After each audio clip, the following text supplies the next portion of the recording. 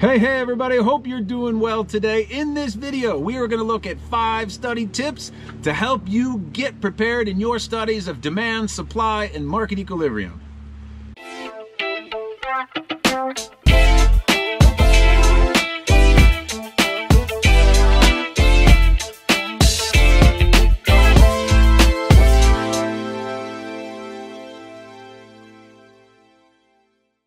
If you're new to this channel, my name is Brad Cartwright. I teach IB Economics here in Santiago, Chile. And on this channel, you will find over 300 videos that cover the entirety of your course of studies in microeconomics, macroeconomics, international economics, and development economics.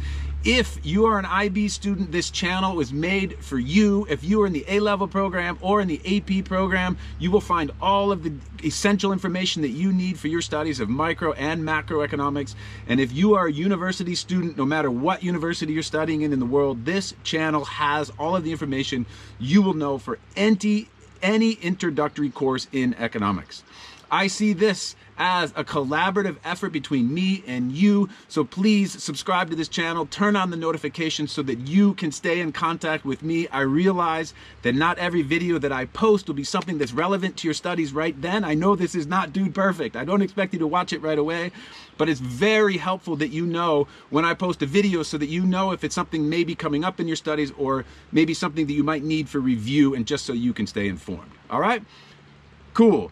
Let's take a look at the five tips I have for you in studying for demand, supply, and market equilibrium. Okay, number one, you gotta know the vocabulary and real life examples cold every single time. Law of demand, quantity demanded, law of supply, quantity supplied, market equilibrium, consumer surplus, producer surplus, all of the non-price determinants of demand and supply. When I mean you have to know that vocabulary, what I'm saying to you is you got to be able to use it with precision.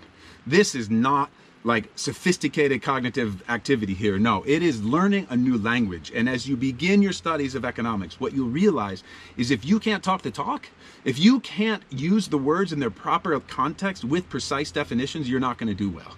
Okay? So grab you know, your notebook, grab your textbook, go Quizlet crazy and make sure that you know precise definitions for everything in economics, not just in this chapter, but in all of your studies of economics. Think of yourself as learning a second, third, fourth language, and this one's called economics. Okay, my friends? Know the vocabulary or you're lost. Cool. Also, real life examples. Make sure you have examples of any scenario you can think of. I'm going to give you some and don't get creative. This is not a creative endeavor. Don't try to impress the examiner with some creative idea. No, go with the tried and true. Go with something that you know is dead on and is not gonna gonna cost you unexpected um, marks on any sort of assessment you might get. Okay?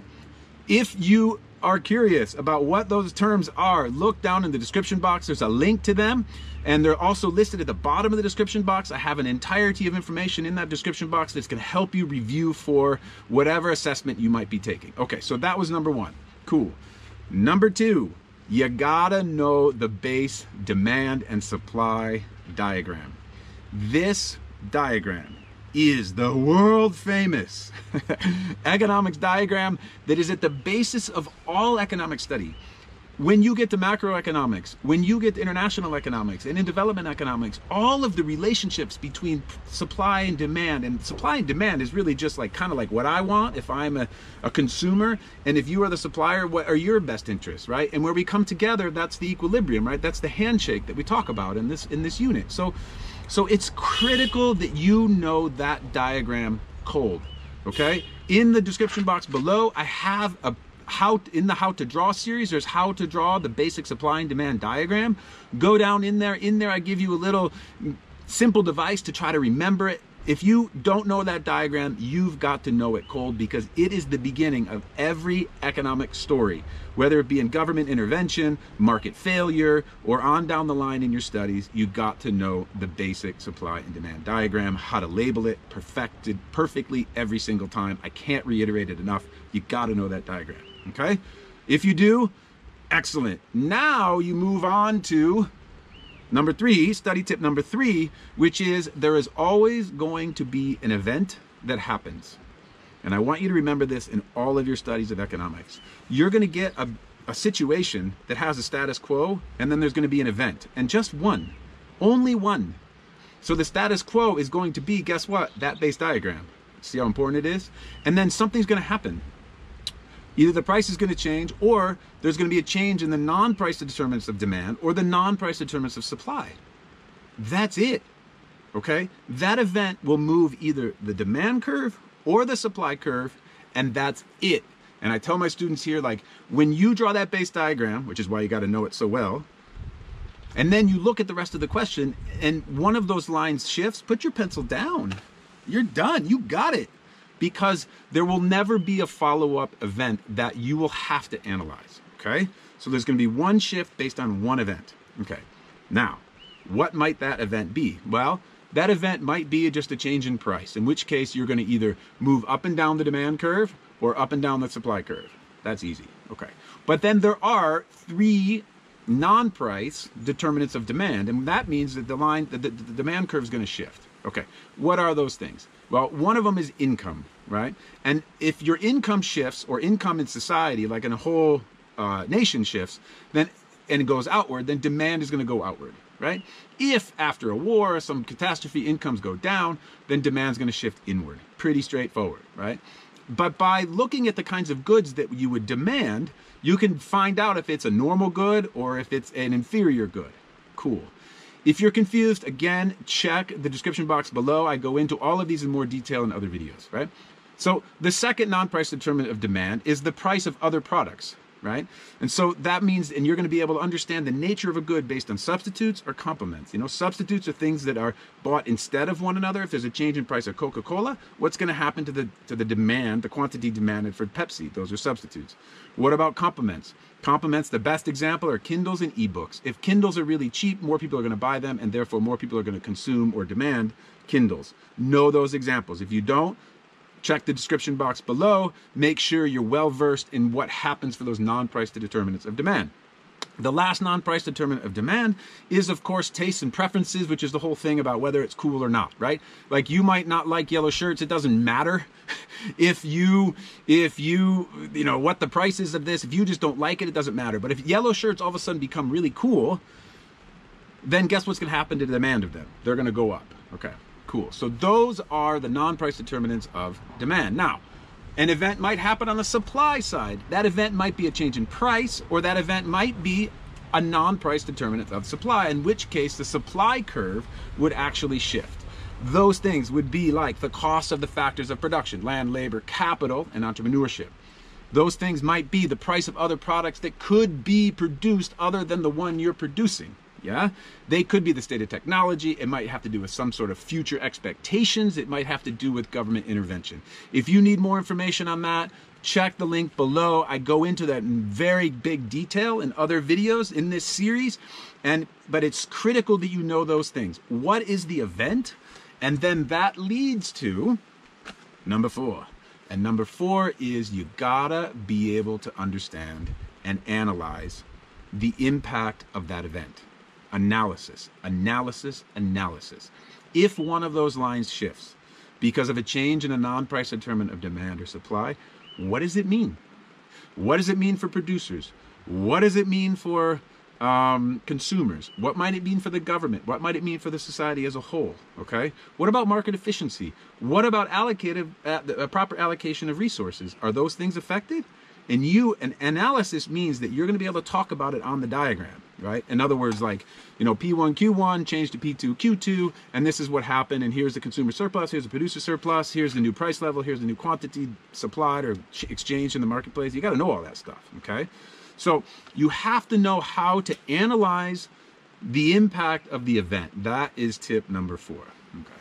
Tip number five, you got to make a judgment. You are the economist. You are going to make a judgment on the impact of that event. Okay? You are going to evaluate the impact of that event on, in the beginning, make it simple consumers, producers, the government, and society as a whole. Those four consumers, producers, government, and society as a whole. Remember that. You can look at them multifaceted later on, like in the long run, in the short run, the advantages, the disadvantages. But anytime something happens on a graph, you need to be able to explain and evaluate and then make a judgment. And by make a judgment, what I mean is you are the economist. Have confidence. You have studied. You know the vocabulary. You know how to draw the diagrams. It's properly labeled. You've shifted the right curve and now you come in as the economist to say, "Hey, this is what they could do. Look, that's one hand. This is another thing they could do. Look, that's another hand. And then you're going to make a declarative statement at the bottom.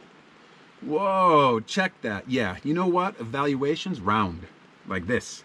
It has multifaceted. It is it is both good and bad. It's it's it's perfect and flawed all the same time. It can't be perfect and flawed. It, there's always another view on it. Okay, so evaluations are round, right? And you make a round ball like this, and this is how you can remember it on the on the assessment. It's like, okay, look, on one hand, the government could do this and make this the one you're not going to choose. Okay. On the other hand, they could do this, right? And go a little bit more in detail into the other hand and then make a judgment and you're always going to make the judgment based on the last thing that you wrote because that's the most effective thing to do in an evaluation or in a paragraph or in an essay the last one boom evaluate it and make a declarative statement you know given all the information that we have the government's best decision would be boom and go with it or boom whatever it might be whatever the question asks you to do okay so those are the five tips that i can give you to help you be ready for an assessment on demand, supply, and market equilibrium. Yes, and my friends, if you are at this point, you are done with the basic understanding of economics. From here, the stories just get huge. And I'm telling you, this is what you got to remember in your studies of economics. This is human behavior. It's me, it's you, it's it's what the governments do, it's life, it's what's going on in the streets, it's what's going on in your house, it's what's going on in the entire world around us internationally. Economics is the foundational understanding of political thought. Did you hear that? Your studies of economics are providing you with a foundation of understanding political thought the world over. It doesn't matter where you live. That's how exciting economics is. All right, my friends, if you have any comments, please put them in the comment box below. If you have suggestions for other students, my goodness, let's make this a collaborative effort via the, the, the comment boxes below. There are thousands of students watching these videos every single day. And just imagine the list of helpful information we could share on this channel by going back and forth and sharing examples of non-price determinants of supply, of demand, maybe cool little things that happen in your country, whatever they are, share them below. All right, my friends? Excellent. Congratulations. Feel really good. Make sure you can do all of these things. And if you can, go to bed, get a good night's sleep, and be ready for the assessment tomorrow. All right, my friends, take care of yourselves. Be good to yourselves as well. And we'll talk to you in a bit.